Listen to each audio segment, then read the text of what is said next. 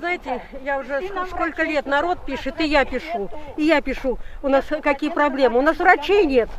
У нас фельдшеров нет. У нас нужна вторая бригада этой скорой помощи. А Где врачи? А Почему скоро- врачи? Скорую А сколько ждете? Скоро сколько приходится ждать? У меня месяц тому назад у сына был приступ, у сына, сыну 45 лет.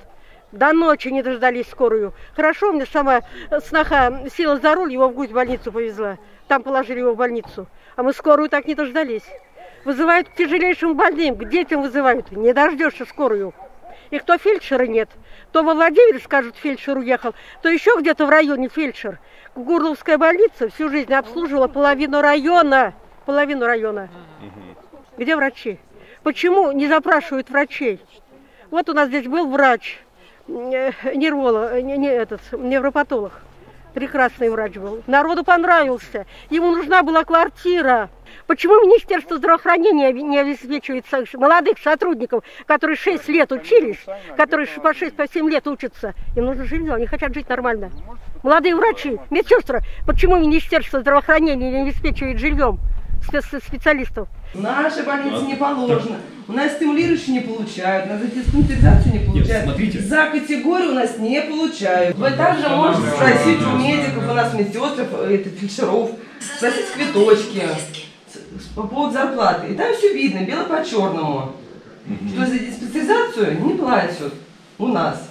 Медсестры у нас не получают. Вот у нас девушка сидит в соседнем кабинете, с терапевтом сидит, она не получает. В соседнем кабинете тоже так же не получает. Здесь напротив меня сидит, тоже так же не получает. Только все по кабинетам, только все, когда у нас э, доходит по поводу зарплаты, все говорят, а как что-то кто-то приехал, сразу все по кабинетам. А Вчера у нас? Николаевна сказала то, что приедут у нас камеры снимать, ничего лишнего не говорите, а сегодня выходите все на улицу говорите, мнение высказывайте. У меня вопрос, один вопрос. Меня сейчас, видишь, как настыдили. Тебе не стыдно будет, если ты через три дня получишь лекарство, и как ты будешь к нам в глаза смотреть? Я теперь рот мне закрыли навсегда. Нам нужна больница, нам нужны врачи. Вот сейчас детский врач ушла с маленькими, с грудными детьми. Кому, куда ехать? Куда ехать? Сейчас педиатра нет вообще? Вообще ушла, рассчиталась. Вообще нет педиатра. Вот, терапевт, они, между прочим, хорошие были врачи. И педиатр был, отличный врач был. Этот Богомаев сидит, неплохой специалист. Но ему лет-то как мне тоже. Он уходит, он идет. И что делать народу? Куда нам ехать? Где нам лечиться? Фельдшера.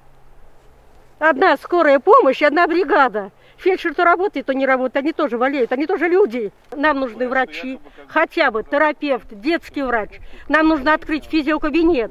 Физиокабинет нам нужен. Нам нужны медсестры и нужны молодые. Молодежь нужно привлекать сюда. И нужна вторая бригада скорой помощи. Круглосуточные, хотя бы на несколько коек.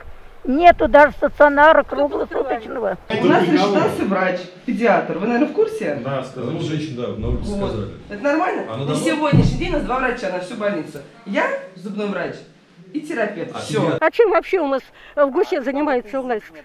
Вот я хотела, думала, кто-то будет с гусевской администрации, хотела Кобеткину задать вопрос. Главе гусевской администрации. Предупреждали, их приглашали. Ну, они не поедут, они не поедут. Вот, они боятся народа. Вот, я хотела ему задать вопрос. Его первый раз выбирали, голосовал народ против Грушко. Не за него голосовали, голосовали против Грушко. Вот он просидел первый срок, он ничего для района не сделал. Вот зачем сейчас на второй срок сел в кресло опять? Вот я ему хотела задать вопрос. Или хотя бы кому-то из них. И зачем они лезут во власть? Жить хорошо хотят. Им плевать на район, им плевать на народ. Им, им даже не стыдно людям в глаза смотреть.